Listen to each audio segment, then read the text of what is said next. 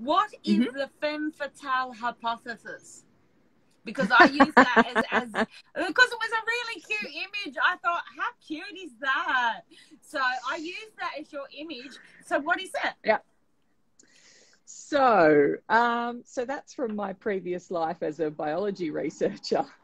that is a the name of a hypothesis that I um, coined, I guess, in one of my scientific papers when I was researching praying mantises and their pheromone production. So females produce sex pheromones to attract males to them, and then they find each other and they and they physically mate.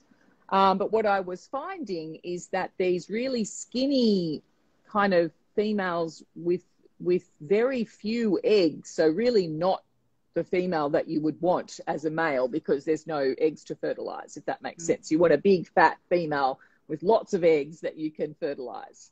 And these skinny females I found were, were attracting all of these males. It was mm. counterintuitive, right? You would expect mm.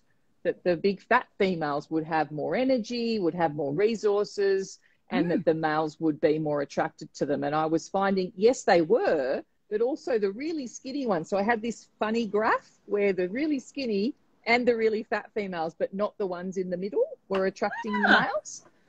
And so I, um, I hypothesized that it, it may actually be a strategy to, because as most people know, as I'm sure you're aware, and most of the world is aware, that female praying mantises, well, some of them, um, consume their their male partners during, before, after, depending on the Seems species. sensible. I know I'm always event. hungry after.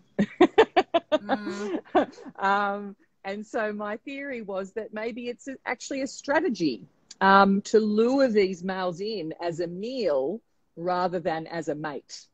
So ah. then they get ah. the energy from the male meal, they can produce more eggs and get a second and get a second male in to fertilize them. So that's where the femme fatale hypothesis or, or whatever is um, that's where that term came from.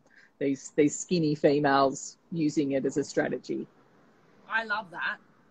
That is one of my favorites. And it might actually end up being the promo for this show because i love it Dr. Kate, uh, I just want to say thank you so much for being on the show and uh, no thank problem. you for bringing your cuppa and your one piece of advice for us all because I do think that chronic health is one of those things that um, we're seeing more people now focused upon their health. Now that the COVID has given us all some much needed breathing space, we've all realized, yes. oh, Flog, I've got to look after my body. You know, I've got another, you know, what, 80 years in it. Let's, uh, let's make sure that it's going to last because otherwise you're going to be dealing with chronic health conditions uh, for what is the best part of your life, the part where you actually know what you're doing, you know, who you Absolutely. are. You're not scared yeah. anymore. Um, yep. So I think this is Definitely. really, really important. And I would love to talk to you more about inflammation and gut health. So how about if we do it again in like a couple of months? Yeah, love to. Yay! well, thank you so much for being with you. us and to everybody that joined the show. Much appreciated. Next week, 10.30, we've got, oh, we've got Zorica, who's a photographer coming on. She does these most amazing uh, photographs, particularly of people.